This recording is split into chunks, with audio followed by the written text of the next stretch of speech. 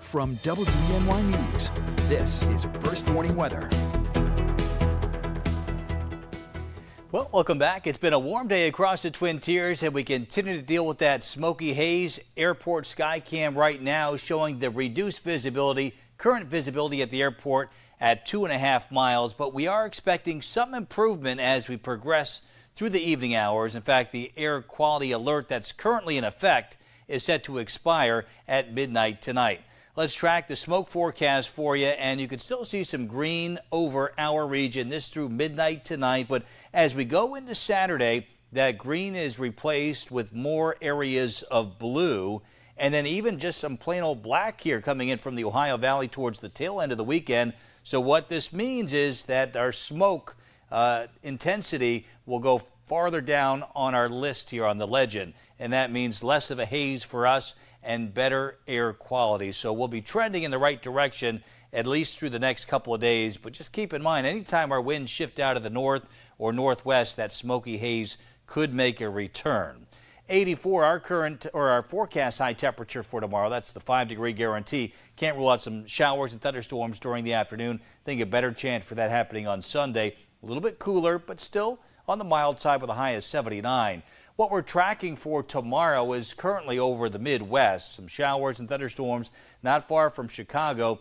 And this energy will be pushing eastbound, and that'll coincide with some of the peak heating during the afternoon tomorrow.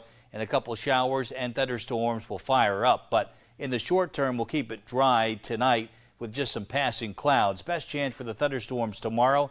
Again, during the afternoon hours, the humidity will be on the rise. It'll be noticeably more humid. Temperatures into the 80s once again. So let's time out our thunderstorm threat. Notice most areas dry during the morning as temperatures rise out of the 70s and into the 80s. Now at 2 o'clock in the afternoon, there may be one, two, three thunderstorms across our entire viewing area, so it's very isolated in nature.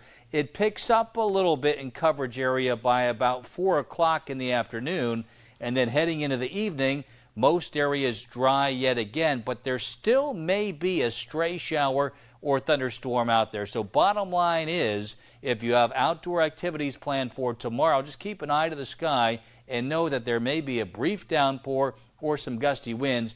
Best chance for severe weather, though, for tomorrow will be back over the Midwest. We're only looking at a 1 out of 5 on our severe weather scale locally. Our 5 degree guarantee for today played out like this. We forecast 86, 84 was the unofficial high. We dropped down to only 64 tonight, so it stays on the mild side. 84 for tomorrow's 5 degree guarantee. Can't rule out that afternoon or evening thunderstorm. A little bit better chance on Sunday. But notice for the 4th of July, we've lowered the chances for rain down to 30%. And look how hot it gets towards the end of next week. Could hit 92 on Thursday.